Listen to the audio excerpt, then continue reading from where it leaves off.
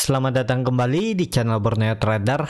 Bagi Bapak Ibu dan teman-teman yang baru pertama kali menemukan channel Borneo Trader di YouTube, saya ucapkan selamat menonton dan selamat bergabung. Di video kali ini saya akan menganalisa ada indeks dan juga tujuh saham. Yang pertama BBHI, kedua BNBA, ketiga BBYB, keempat BANK, kelima BGTG, keenam BABP, ketujuh BBKP, dan ke-8 agro. Langsung saja ke indeks. Hari ini indeks ditutup menguat 0,7%. Ini cukup bagus ke harga 6.608.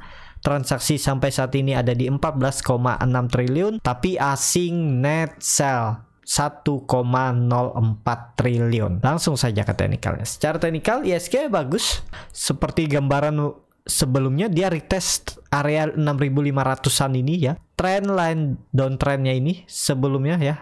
Atau area konsolidasi lah. Dan ya ini cukup bagus menurut saya.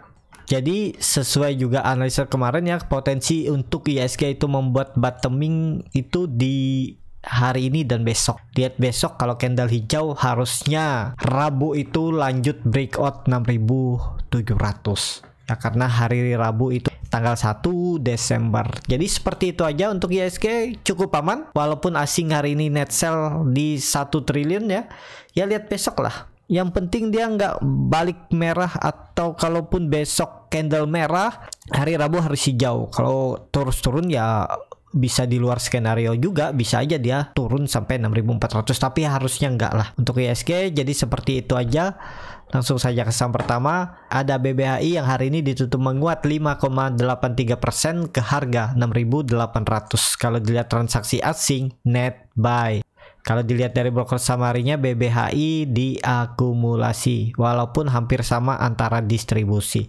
Langsung saja ke teknikalnya. Secara teknikal BBHI mantul dari 6550 support yang waktu itu saya gambar ya. Jadi apakah ini aman? Ya kalau ini kan sepertinya membentuk pola morning star cuman candle hari ini kurang penuh, kurang naik. Kalau dia tutup di atas 7 ribuan bagus. Yang penting BBHI nggak turun lagi besok dari 6540. Karena kalau dia turun artinya itu membentuk pola dead cat bond dan arah selanjutnya ke 6000. Jadi seperti itu kalaupun yang sudah profit ya jagain profitnya pasang trailing stop. Kalau skenario nya besok lanjut rebound itu terdekat 7000 dan bisa ke 7500 kalau dilihat memang dia masih sangat uptrend. Kalau dilihat moving average-nya juga mengarah ke atas lebih dari 45 derajat sudut kemiringan. Jadi bagus. Sayangnya memang MACD-nya mengarah ke bawah. Dead cross lagi dan sangat tajam. Ya lihat satu dua hari ke depan lah. Semoga BBAI bertahan di atas 6500 jadi seperti itu untuk BBHI langsung saja ke saham kedua ada BNBA yang hari ini ditutup menguat 6,42% ke harga 3480 kalau dilihat transaksi asing net buy kalau dilihat dari broker samarinya BNBA diakumulasi. Langsung saja ke teknikalnya. Secara teknikal BNBA juga mantul ya, nggak terlihat juga hari Jumat dan Kamis minggu lalu dia itu koreksi dengan volume kecil dan hari ini rebound. Jadi besok itu ada peluang lanjut naik uji resisten 3600. Jadi ada peluang naik sekitar tiga persenan lagi ya tapi disclaimer on itu hanya gambaran dan hanya analisa saya dan juga bisa salah tapi kalau market bagus besok harusnya bisa menyentuh minimal sentuh dan kalau nggak mampu naik ya koreksi kan keseringan juga BNBA ini setelah menyentuh area resisten dan dia nggak mampu naik dia terkoreksi dan membentuk candle jarum atau ekor. Tadi ada yang beli buy on weakness di area support ya udah lumayan profitnya kan. Ya bisa dipasang trailing stop aja kalau besok candle merah mending profit taking. Ya biarpun profitnya tipis karena candle merah ya udah profit taking daripada dibawa BEP ya jangan mikirin atas dulu. Kalau sudah dia candle merah itu rawan untuk turun. Jadi mending exit dulu BNBA kecuali setelah Bapak Ibu exit ternyata dia naik ya udah biarin tunggu di atas kalian di atas 3600 kalau dia breakout 3600 atau 3500 ini bisa buy on breakout. Jadi seperti itu. Untuk BNBA langsung saja ke saham ketiga ada BBYB yang hari ini malah naiknya cukup signifikan ya 18,09%. Kalau dilihat dari transaksi asing hari ini malah jualan atau net sell. Kalau dilihat dari broker samarinya BBYB sedikit didistribusi oleh MG tapi ditampung juga oleh YU dan DR. Langsung saja ke teknikalnya. Secara teknikal, BBYB sudah di exdate harga reisunya ya. Jadi ini sudah harga normalnya kalau nggak salah tadi pagi exdate-nya dan ya udah lumayan ya. Jadi yang masih hot ya selamat harganya nggak jatuh-jatuh banget ya jadi menarik lah untuk BBYB ya ini juga di luar skenario ya biasanya kan XDET tuh harganya jatuh tapi melihat historis sebelumnya memang BBYB ini isu ya biasa aja nggak terlihat juga melihat historis sebelumnya. Kalau yang lain kan biasanya jatuh harganya target teoritisnya. Penurunan hari ini tuh di 2000 ya. Dari di titik terendahnya dan akhirnya dia mantul harga reisunya. Ya menurut saya cukup bagus. Jadi Ya ini dia lagi konsolidasi. Lihat besok lah update-nya. Dia. Kalau Bapak Ibu yang sudah punya ya tetap tebus saja. Itu kan lumayan. Dapat saham BBYB di harga 1300 cuman kan ada rasionya ya. 9 banding 35 jadi hitung aja saya juga kurang bisa ngitungnya. Jadi seperti itu menarik lah untuk BBYB bagus karena volume meningkat peluang untuk lanjut? Bisa tapi kalau ternyata turun ya paling konsolidasi di range 2000 sampai 2350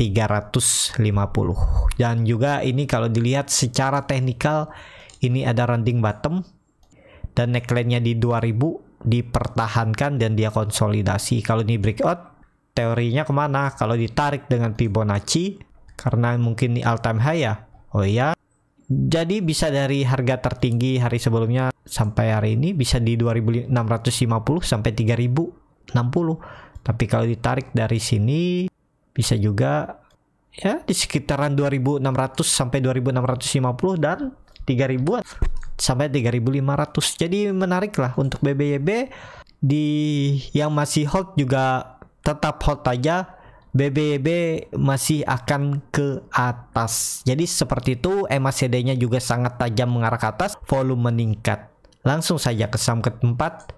Ada BANK yang hari ini ditutup juga menguat 3,8% ke harga 2.730. Kalau dilihat transaksi asing terus net buy. Kenapa asing ini terus net buy? Karena ya mungkin karena sentimen BANK itu masuk dalam small cap MSCI kalau dilihat dari broker samarinya BANK didistribusi tapi ditampung oleh broker asing AK, CS dan RX.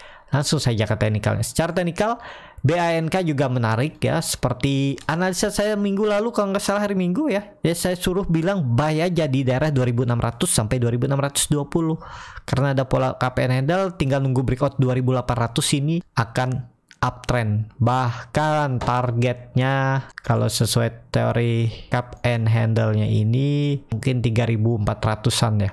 Nah ya kan ya 3300 sampai 3400 ini bisa lah potensi upset dari harga sekarang masih bisa 20% dan cut loss-nya cuma 7%. Apalagi tadi ada yang beli buy on weakness, buy on support itu 3% aja udah udah profit nih. Ya, lumayan. Nah, 4%. Jadi menarik lah untuk BANK karena masuk indeks MSCI. Jadi seperti itu untuk BANK juga masih bisa dipantau kalau nekat beli buy on breakout bisa atau kalau dapat di harga 2730 juga boleh cut lossnya tadi sekitar 7%.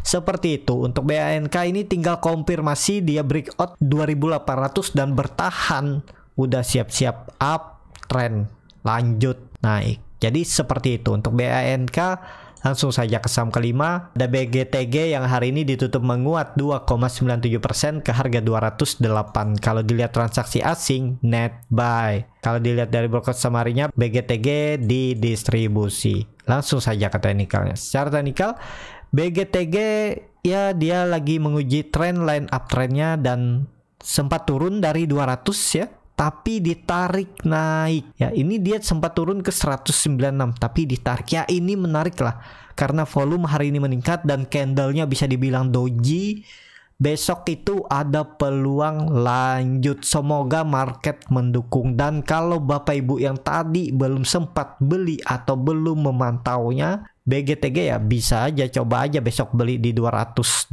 ini. Tinggal cut loss sekali dia tutup di bawah 200 ya cut lossnya sekitar 5 sampai 6% target profit 220 dan ada peluang sampai 240 ya karena ini juga bisa pola imported head and shoulder. Di neckline 240 kalau di breakout 330 arah target. Jadi seperti itu. Untuk BGTG langsung saja ke saham ke-6 ada BABP yang hari ini ditutup terkoreksi 1,53% ke harga 193 kalau dilihat transaksi asing net buy kalau dilihat dari broker samarinya BABP malah diakumulasi Langsung saja ke teknikalnya. Secara teknikal, BGTG membentuk candle doji dan pas di trend line downtrendnya support. Jadi kalau besok ada teknikal rebound itu minimal bisa kembali uji 200 kalau dia mampu lewat dan bertahan di atas 200 target kenaikan 220 kalau yang mau coba spekulasi buy tapi ini high risk dan resikonya ya keseringan cut loss menangkap pisau jatuh seperti ini. Tinggal cut loss kalau BABP tutupnya di bawah 190 target terdekat 200 sampai 220 jadi seperti itu. Untuk BABP menarik ya kemungkinan ada bisa teknik rebound besok kembali uji 200 lumayan tuh 193 sampai 200 sekitar 7 poin 7 poin bagi dua ya dapat 2 sampai 3 persen lah kalau scalping ya. Tadi juga kalau scalping juga dapat ya harusnya 2-3 persen.